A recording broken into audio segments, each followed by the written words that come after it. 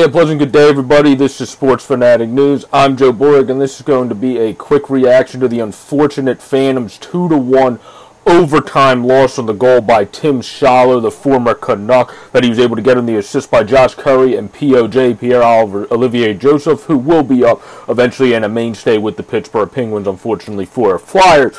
But this was a game that was literally a goalie duel. I must also say, I forgot to shout him out yesterday. Bob Rotruck is the man, the myth, the legend, one of the best announcers in the AHL, and also great at writing the game recaps and game previews. That's where I get some of my facts from that I pair with the stuff that I like, what I saw recently with the players as well. So big shout out to him.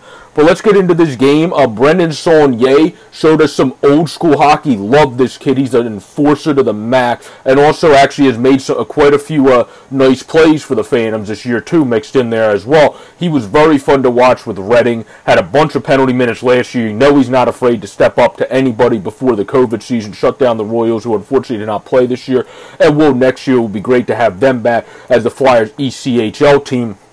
But Unfortunately, they didn't play this year, so he got to play with the Phantoms, Brendan Saunier, and he took advantage of it. He got an assist on the Linus Sandin goal that Chris Mueller, um, one of the all-time uh, longest tenured currently uh, AHLers, uh, also got an assist on that one as well. And then Saunier got rocked by Mike Riley and did not let him live that down. As soon as he came back, he immediately got thrown right back out because he fought him like an old school hockey fight, destroyed him in the fight. Then, as they were down, he was still punching on him as the linemen were trying to break him up, like you used to see kind of growing up. Like I used to see, I'm only 24 now, but growing up in the earlier 2000s, even to like the early 2010s NHL, you don't see that as much anymore. It was really fun to see that.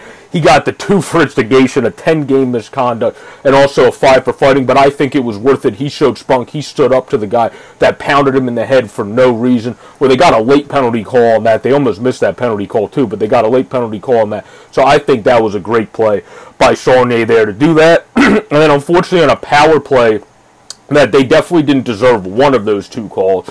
Uh, there was a phantom trip in that play, literally, no pun intended since we're the Phantoms, but there was a phantom trip that they called a penalty for. The other one might have been a penalty to get it to at least a regular power play, but he scored one. It was a five on three. Anthony Angello to tie it up. That was unfortunate for Felix Sandstrom because again, uh, he played a hell of a game on 34, um, having 30 let's see, they had 34 shots, so 32 saves on 34 shots, excuse me. I must have 34 saves. As Wilkes-Barre went 1 for 4 in the power play, but on a power play, I don't think they should have even had a 5 on 3 because of a phantom trip uh, that just should not, on Drogs, I believe it was, that should just not have been called. So that's just the way it was. This was a goalie duel. Felix Sandstrom's playing like a menace. He had a 37 save performance. Um, and then has backed it up with two really good back-to-back performances. Ryle in the performance before also showing you could tell um, well, not the performance before because that was against Hershey, but the performance before that, excuse me, before he got injured, I meant to say, in the layoff was, you could see he was starting to show some signs, and then he fully put it together in the 37 save performance, and then put it together again yesterday, where this was just a game, no matter who lost, the goalie did not deserve to lose.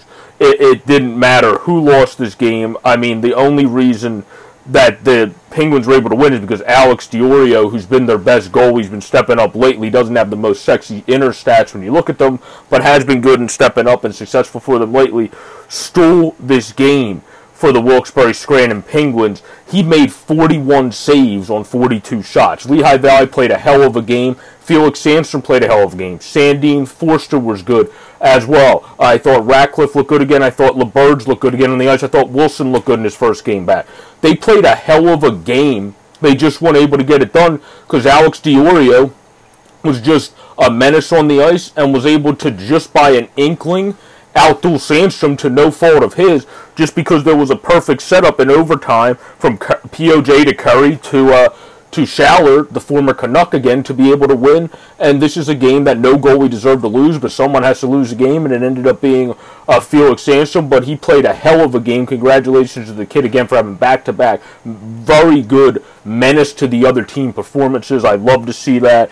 And then Linus Sandin's looking really good of late. Uh, Brendan Saunier is a very fun enforcer type player to watch uh, in the minors, whether he's in Reading or now in Lehigh Valley. He's a very fun player to watch. So there was a lot of positives in this game. For a loss, this was probably the least the mo like a loss that there's not even much negatives to take because the Phantoms played so well. They just got beat by a very good goaltender, and then Sandstrom was a great goaltender too. This was like the Wainwright and Zack Wheeler game the other day, where they were just both dealing against each other pretty much. Uh, for my also baseball fans, that's pretty much what this was, like an old school game um, where the goalies just really outmatched and just kept matching each other hand for hand. And then unfortunately, they got the one that Sandstrom had no chance in OT on a perfect setup that was to Tim Schaller there, and were able to win. This has been a reaction to the Phantom unfortunate 2 to 1 OT loss to the Wilkes-Barre Scranton Penguins that no goalie would have deserved to lose. Alex D'Orio was able to get the wins. Felix Sandstrom played a hell of a game. I would say D'Orio is definitely the first star of that game